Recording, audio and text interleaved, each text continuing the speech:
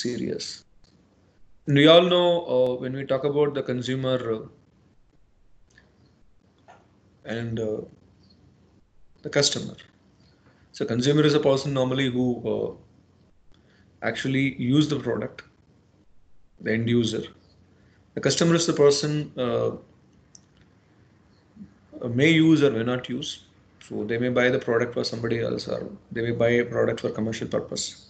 So that is what uh, the consumer may be customer and customer may not be consumer. So consumer may be customer means the consumer, those who regularly buy a product and consume for themselves.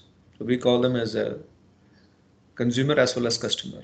But sometimes customer, customer we normally call them as a person who regularly goes to a store and buys the same product or a brand, maybe for themselves or for others.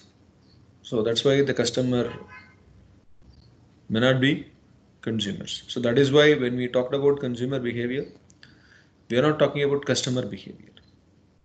So whenever the company wants to understand about the product and service or acceptance or satisfaction, they have to focus on the consumers, not the customers, those who regularly buy.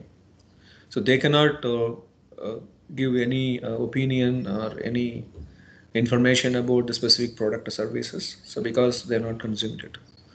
So that is the sort which we uh, have to understand. So the consumer behavior is important. So not knowing the customers. But most of us uh, confused with the term called consumer and customer.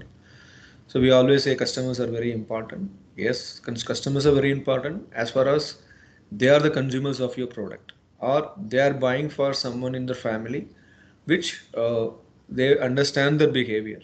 So otherwise uh, there is a kind of a disconnect. Uh, you can see that. So those kind of an aspects uh, we will be discussing in our uh, series of videos. And uh, thank you once again uh, and keep watching for more videos. And we will see about consumer psyche in our next video. Thank you very much for once again watching my youtube channel marketing 5.0